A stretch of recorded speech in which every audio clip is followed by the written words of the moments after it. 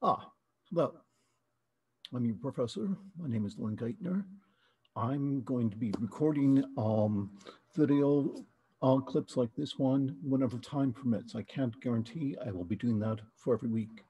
But I want to share some thoughts with you all about at least uh, some of the information in the um, text of the assignments, but also about the first chapter. I don't think I'll have time enough to get to the fifth chapter today, hopefully in the next year or two. So let me share a couple concerns and a little and a few things that I think call for elaboration. So even before we get to the assigned reading for this week, I'd like to raise an issue about one of the discussion questions this week, which shares Aristotle's principle of non-contradiction. Now, Aristotle is one of the most important philosophers of all time, and his treatise, treatise on logic still redounds to this day. In this treatise, he sets out the principle of non-contradiction. Although this principle may seem to most of us in the West to be intuitive, it does raise some issues, and there are some alternative approaches to logic. First, in terms of issues, Aristotle's logic is essentially dualist. Most of the propositions considered are either or, are black and, it's black and white, if you will. It thus lends itself to experimental science, which seeks to establish unambiguous and objective truths about the natural world. However, there is an important issue with that in application into ethics. Most human experience falls on a continuum instead of falling into neat black and white either or extremes. For example, let me give you a hypothetical. Let's say that you discover that a friend's wife is cheating on him. On the one hand, there's an ethical duty to tell the truth. But on the other hand, there's a duty not to hurt another person's feelings unduly. And on the can we say a third hand? Do you even have a duty to interfere with someone else's personal life? We tend to turn to ethics in this kind of situation where there is a conflict between two or more prima facie values.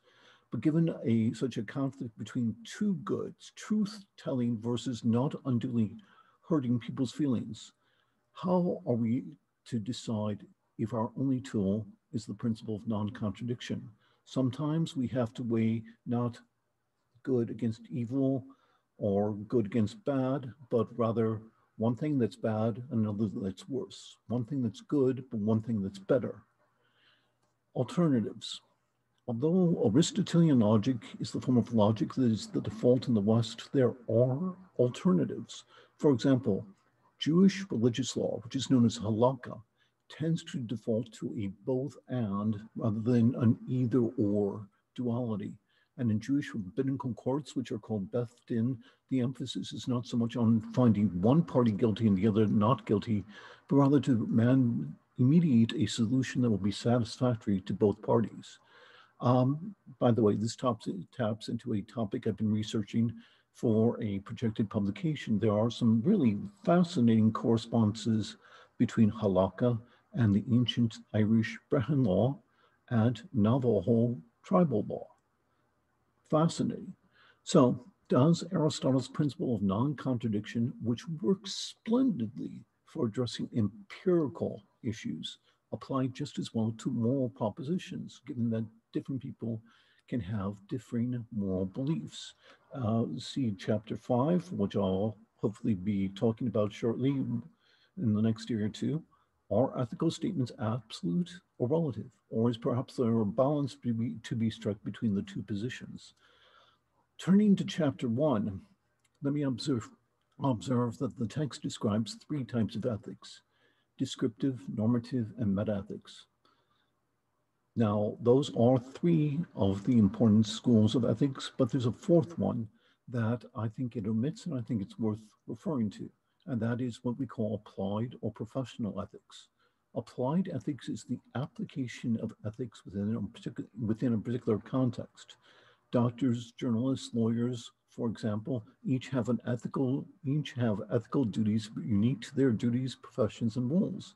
Sometimes these duties can even conflict with what would ordinarily be considered moral. Let me give you an example. And this is an example from my own life. I think it is fairly self-evident, for example, that if you as a citizen were to find out that someone had committed murder, you would have a duty to report that to the proper authorities. But I used to work in criminal law.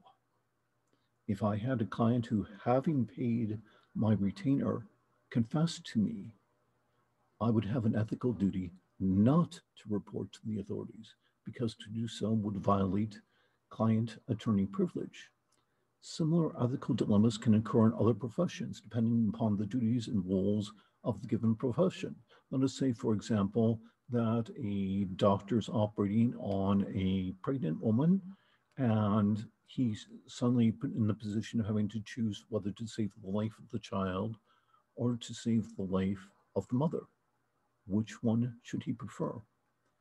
Now, we're not going to go into professional ethics in depth in this class, but I thought it was worth mentioning this omission because this is another major area of ethics. Indeed, there are professionals who specialize just in the fields of medical or legal ethics for a living.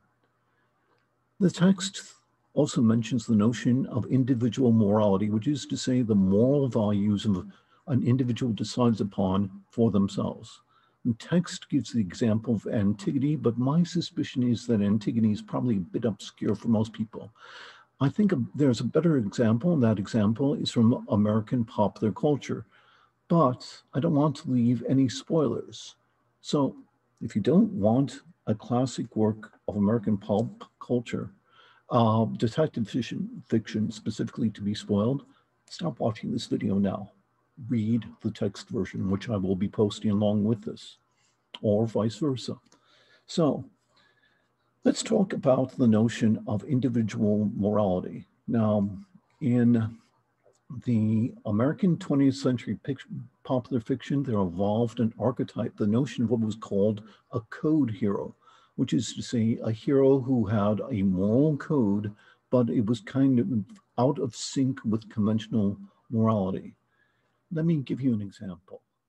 And for this, I think I need to turn to my share function. And ah, where is the share function here? Ah, here we go. So here's a classic figure from American popular fiction, Sam Spade, Humphrey Bogart, one of my favorite actors in the movie The Maltese Falcon. Now, does Sam Spade have personal morality? Does he have conventional morality? Well, we know if you've read the book or more likely watched the movie, Sam Spade does not have conventional morality. He is, it's early on established that he's having an affair with his partner's wife. So, not conventional morality. Does that mean, however, that he has no code, no personal morality? Well, he ends up, here's the spoiler, spoiler, spoiler, here's the spoiler. He ends up in the situation of either um, avenging his partner's murder or sending a woman that he thinks he might have fallen in love with to jail. In fact, he states in so many words when he's questioned as to why he chooses to send her to jail instead. He states his guiding moral principle. When a man's partner is killed, he's supposed to do something about it. It doesn't make any difference what you thought of him. He was your partner, and you're supposed to do something about it. Then it happens. We were in the detective business. Well, when one of your organization gets killed, it's bad business to let the killer get away with it. It's bad all round, bad for that one organization, bad for every detective everywhere. Well, let me drop out of the share function for just a moment and point out that part of the reason why I'm sharing that example is that this is a beautiful example, and I think one that's more Uh, more relatable than Antigone to the notion of individual morality. Sam Spade is not, by conventional standards, a moral character, but he does have individual morality.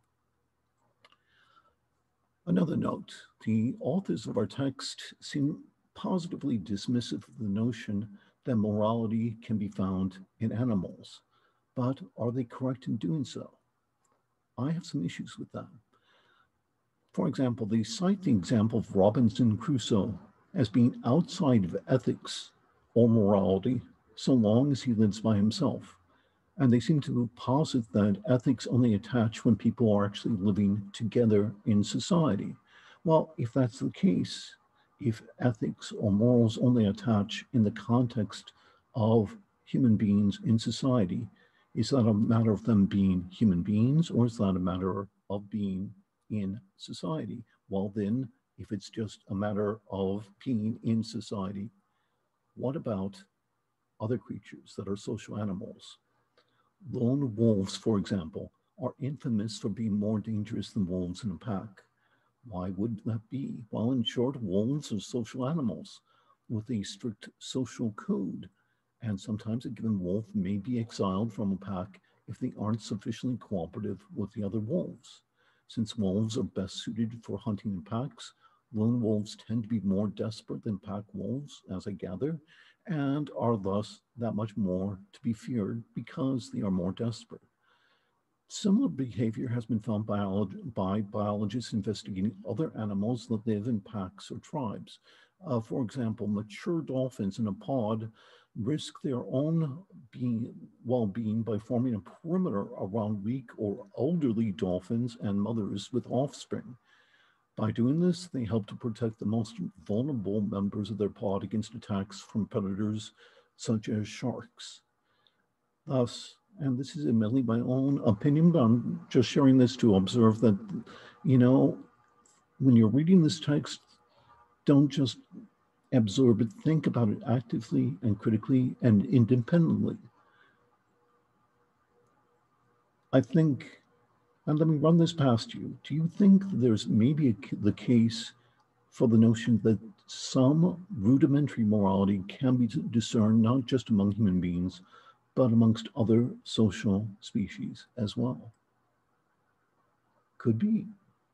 Let me make one more, uh, two more observations. There's a section devoted to law and morality, and I think it's worth pointing out that Jim Crow laws before the Civil Rights Act were per se unjust laws. The, the policemen who attacked peaceful protesters in the 1960s were arguably acting within the law, but they were acting immorally. The protesters, by contrast, were acting in a moral, but also technically a criminal manner. Similarly, most people would consider the act of feeding the hungry to be essentially a moral deed. But within the past year or so, there have been attempts to enforce laws that would allow policemen to write tickets to people for against people who are caught trying to feed the homeless. The point is that although there is overlap between law and morality or law and ethics, they are not identical. Not everything that is legal is right, and not everything that is right, unfortunately, is legal. The textbook also brings up Kohlberg's notion of the levels of moral, of moral development. Although Kohlberg is still well regarded, however, there's another alternative approach that I think is worth sharing. Another writer, a psychologist by the name of Carol Gilligan, wrote a book in response to Kohlberg. It was titled In a Different Voice and it criticized Kohlberg for focusing almost entirely on boys when he conducted his studies, which he used to identify his six levels of moral development.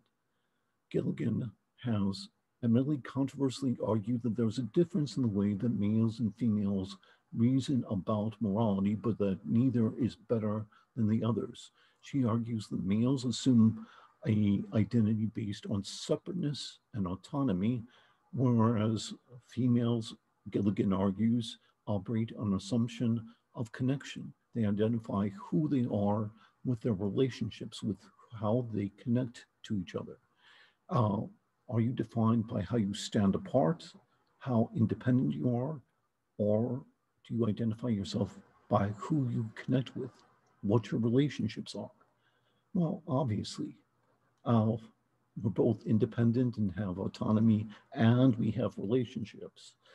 Here's the thing I think there's merit, but issues with both of these positions. I think Kohlberg is a bit of an absolutist. He seems to think that all human beings go through his six stages of moral development in the same order.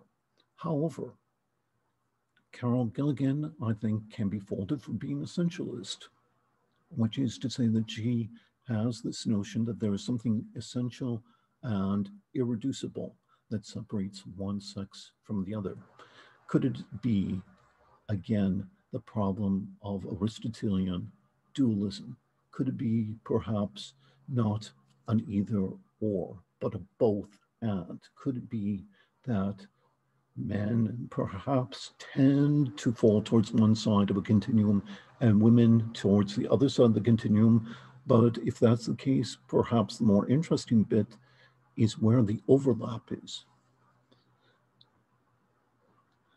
Now, I also have some much shorter comments about uh, chapter five, but I think I'll leave those for another time. I've got things to do this evening, folks. So let me know if these observations have added further nuance and clarity to this material, or whether there is some point upon which you would like me to elaborate. I'm looking forward to experiencing this class with all of you. And I hope I'll have the time to film something like this every week, but we'll see. So on that point then, oh, one sec. On that point, then I bid you adieu for the evening. Please read the assigned text. If there's anything about the text that seems troubling or puzzling or difficult, feel free to reach out to me via email, lgeitner, G-E-I-T-N-E-R, at bremen.edu, and I will be glad to do the, my level best to clarify the material that we are covering. Ciao for now.